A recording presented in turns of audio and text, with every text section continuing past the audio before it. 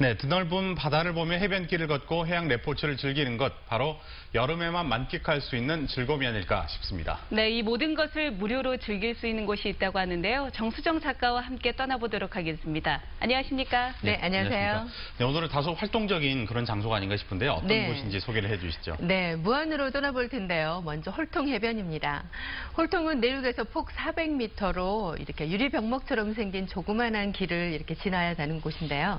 지도에서 보면 긴 병목 모양을 하고 있습니다. 이렇게 고운 모래와 얕은 수심으로 아주 유명한데요. 해양 레포츠를 즐기기는 아주 그만이고요. 마침 이번 주까지 또 해양 레포츠를 무료로 또 즐길 수가 있습니다.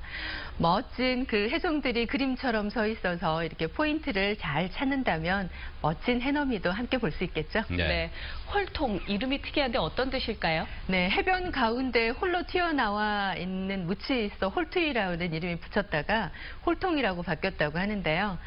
즐길 홀, 감성의 통이라는 뜻을 함께 지니고 있습니다. 지도상에서 보면 호리병 모양처럼 이렇게 쭉 삐죽하게 튀어나온 땅인데요. 네. 양쪽 바다가 보이는 곳에 서면 이렇게 바람이 드나드는 곳으로 이렇게 바람의 바다라는 별명도 함께 가지고 있죠. 네. 저는 조금 전에 화면 보니까 그 버섯 모양으로 좀 생긴 것 같기도 했었는데 네. 홀통 해수욕장에서 해양 레포츠를 무료로 즐길 수 있다고 해요. 예, 소개를 해주시죠. 네, 그렇습니다. 현경면 홀통 해수욕장에서 초중고 대학생 그리고 또 일반인을 대상으로 해서 19일까지죠. 어, 토요일, 일요일, 공휴일에 이렇게 황토콜 해양 레포츠 체험 교실을 이렇게 무료로 진행을 합니다. 네. 해양 체험 교실은 윈드서핑 그리고 또 카이트 날리기, 딩기 요트 등의 해양 레포츠를 함께 즐길 수 있고요. 여기에 또 심폐소생술 그리고 또 물에 빠졌을 때 생존하기 위한 생존 수영법 등 다양한 교육들이 펼쳐지는데요. 이번 체험 교육은 해양 레포츠의 대중화를 위해서 그리고 바다에 대한 두려움도 극복하고 그리고 또 해양 레포츠를 쉽게 접할 수 있는 계기를 마련하고자 이렇게 준비했다고 하는데요.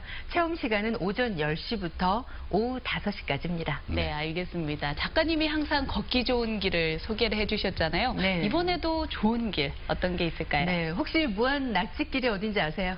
아, 무한 낙지가 유명한 건 아는데 어딘지는 잘 모르겠네요. 네. 네. 아마도 열의 아홉은 읍내에 있는 낙지 골목을 이렇게 말씀을 하실 텐데요. 해안길을 따라 바다를 곁에 두고 이렇게 걸어가는 아름다운 길, 이 길이 바로 진짜 낙지길입니다. 이 낙지길이 무한 그 해제면 생태 갯벌랜드 무람마을에서 시작해서 홀통 해변으로 이어진 한 7.1km 구간인데요. 갯벌 습지 보호 지역과 이렇게 구불구불한 해안선을 따라 걸으면서 무안과 또 무안에 가면 갯벌, 황토, 생태 아주 유명하잖아요. 여기에 또 사람의 향기까지 느끼고 올 수 있는 코스입니다. 네. 무한 생태 갯벌 센터에서도 다양한 프로그램이 진행되는 걸로 알고 있는데요. 네. 어떤 체험이 가능할까요? 네, 람사르 습지 갯벌 도립공원 1호로 이렇게 지정이 된 곳인데요. 무한 생태 갯벌랜드에서 다양한 체험도 함께 즐길 수가 있습니다.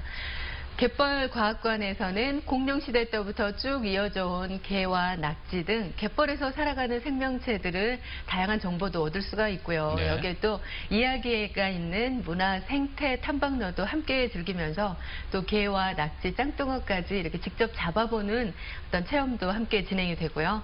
여기에 또 캠핑장을 이용하신다고 하면 이 생태 갯벌랜드 입장료가 있는데요. 네. 이 입장료가 무료가 되니까 어떻게 보면 입장료를 제외하면 가성비 갑의 어떤 여행 코스이지 않을까라는 생각이 들고요. 그렇네요. 이렇게 또 늦은 오후에 또 해안을 따라서 붉은 노을빛을 또 이렇게 번져오는 모습을 볼 수 있을 텐데요.